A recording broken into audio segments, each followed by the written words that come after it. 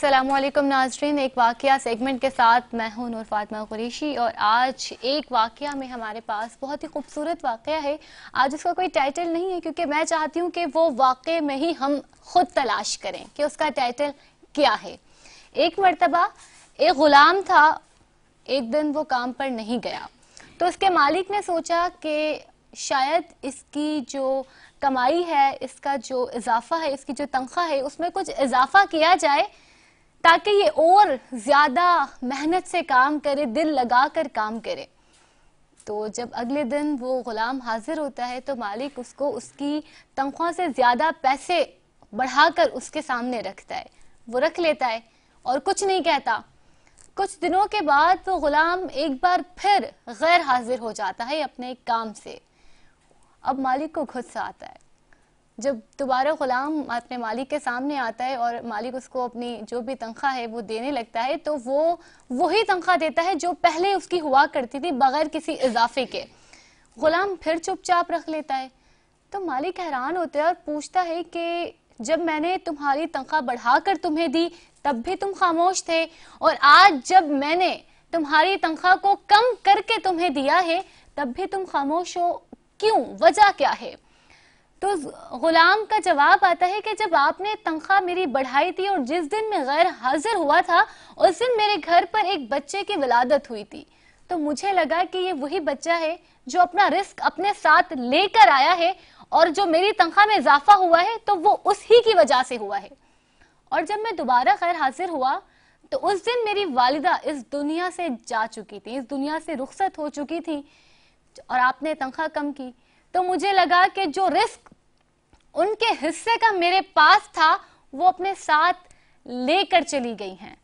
तो नाजरन कराम, इस वाक्य से हमें ये सबक मिलता है, वो छोटा सा था, लेकिन इसमें बहुत बड़ा लेसन है हमारे लिए। हम अपने रिस्क की हसूल के लिए दर बदर फिरते रहते हैं, जबकि अल्लाह पाक ने रिस्क का वादा तो खुद किया है। कि मैंने हर बंदे का रिस्क लिखा हुआ है, जो कि मैंने उसे पहुंचाना है। लेकिन आजकल हम हलाल और हराम के फ़र्क को तर्क करके रिस्क की तलाश में हम वक्त गोश रहते हैं, हम वक्त उन्हीं चीज़ों में लगे रहते हैं। हमें यह फ़िक्र नहीं होती है कि हम हराम की तरफ़ जा रहे हैं, हलाल की तरफ़ जा रहे हैं।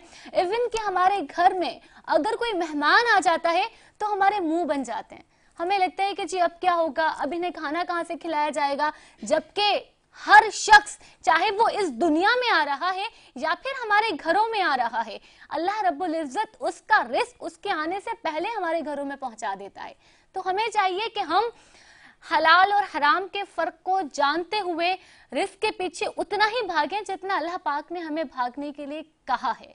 और खसूसी तौर पे जब हमारे घरों में बेटियों की विलादत होती है ना तो हमें खुशी मनानी चाहिए, क्योंकि वो अपना रिस्क डबल और ट्रिपल करके लेकर आती हैं। वो रहमत के तौर पे अल्लाह पाक ने इस दुनिया में हमारे घरों में भेजी होती हैं तो उनके रिस्क की तो हमें बिल्कुल ही परवाह नहीं करनी चाहिए।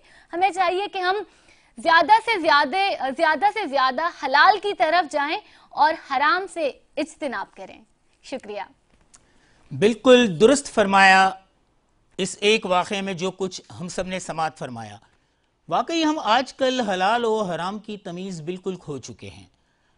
साहिब ईमान लोग कहते हैं कि अल्लाह ताला ने, अल्लाह ताला ने एक रिस्क मुकर कर दिया है। और जितना रिस्क आपके नसीब में लिखा जा चुका है, वो आपको लाजमी मिलना है। फ़र्क सिर्फ़ यह है कि वो रिस्क मुकर्रा रिस्क, हम हलाल रास्ते से तलाश करते हैं या हराम रास्ते से। आजकल मसला ये है कि हम हलाल और हराम में तमीज़ भी खो चुके हैं।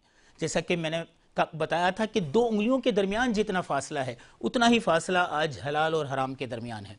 आज हम ये शिकवा तो करते हैं कि औलाद नाफरमान है, औलाद गुस्ताख है, औलाद बाकी, बागी हो गई है, लेकिन कभी हमने ये सोचा कि ऐसा सब कुछ क्यों हुआ? हो सकता है हम उसे हराम लुकमा खिला रहे हों। रिस्क हराम से पलने वाली औलाद फर्मा बरदार वफादार कैसे हो सकती है? बहुत सी गलतियाँ खुद हमारी होती हैं। आज माहिर कादरी साहब का वो शेर मुझे याद आ रहा है कि माहिर, ये जिद्दतें, ये तरक्की पसंदियाँ, जितने भी ऐब थे, वो हुनर होके रह गए। आज हर ऐब को हम हुनर समझने लगे हैं।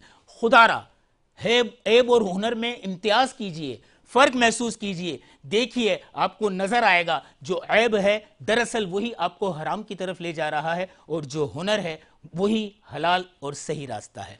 अल्लाह और उसके रसूल को राज़ी रखने के लिए हलाल और हराम में तमीज़ कीजिए। आज इसी खूबसूरत पैगाम के साथ अनवार रमज़ान की इस खसूसी सहर नशिया से नूर फातमा और सुलेमान सैनी को दीजिए इजाज़त। कल फिर हाजिर खदमत होंगे। उस वक्त तक के लिए अल्लाह हाफिज़, खुदा निगेबान।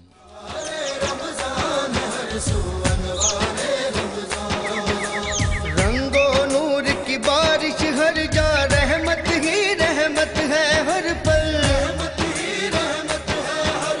हर पल हर घर में रौनक, बरकत ही बरकत है हर पल। कर ले अपनी बख्शिश का में कुछ सामान।